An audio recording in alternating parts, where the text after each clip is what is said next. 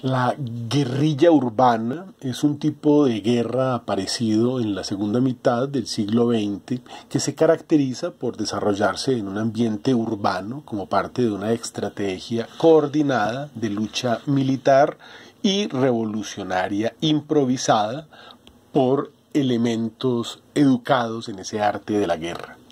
Consiste básicamente en evitar confrontaciones abiertas con las tropas legítimas, buscando pequeños combates terroristas, así como actos de sabotaje que puedan afectar la capacidad operativa de los estados.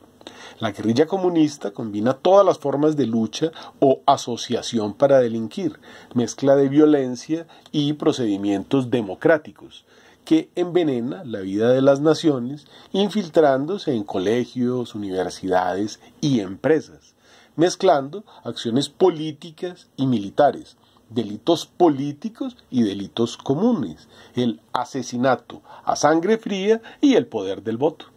Cuando se hacen al poder se disfrazan de socialistas demócratas, mientras exigen y demuelen las diferentes clases sociales, buscando supresión de toda la propiedad privada y de los medios de producción. Ya son más de 100 años los de la Revolución Rusa, país con una deuda del 40% del PIB, a pesar de ser el primer productor de petróleo a nivel global, lo mismo de materias primas. Es decir, que Rusia pasó en 100 años de ser una superpotencia global a ser un país al borde del hambre, una desigualdad económica única en el mundo. Prácticamente todo el país pertenece al zar Putin y su grupo de 100 amigos. Su sonada industria militar es tan débil que el único portaaviones que tienen fusiona con diésel y parece una estufa que debe ser acompañada por una flota de barcos taller para que no se hunda o quede varado por el camino, como se vio cuando lo llevaron a Siria. Rusia está muy rezagada respecto, respecto a Occidente en la aplicación de innovaciones de alta tecnología, de vehículos o de cualquier cosa o artículo no militar, o incluso en demografía, ya que tiene menos población hoy que cuando se dio la revolución del 17, la revolución de octubre. Y las mujeres, si no les pagan, no tienen hijos.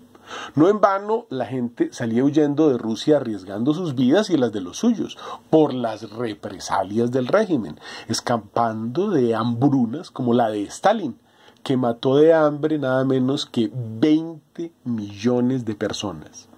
Esto se replica en cada país que cae en la trampa. Así, vimos ayer escapar de China, de Alemania Oriental bajo las balas, luego de Cuba, Venezuela, Nicaragua, etcétera, etcétera, etcétera.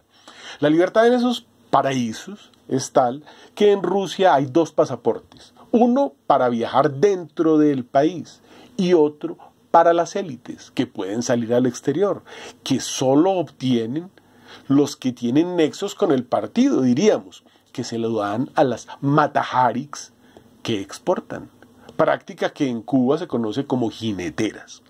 La fábrica de noticias rusa de la posverdad es la que mantiene en Occidente una ilusión de vida libre que no existe. En China es prohibido hasta el WhatsApp. Y en todos los países comunistas existe la policía del pensamiento, así suene absurdo, la policía política. En estos paraísos es con lo que sueñan convertir los suyos propios los millennials, educados en el marxismo cultural de la escuela de Frankfurt, otra de las formas combinadas de lucha, la de la mentira.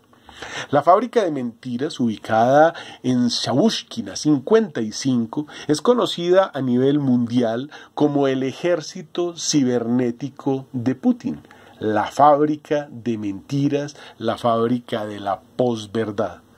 Un ejército activo en las redes sociales que incendia países a punta de mentiras en sus propias lenguas. Eso para las lenguas sí son muy buenos. Y que ha provocado quemas de buses, centros comerciales e iglesias desde Chile hasta Portland y contando.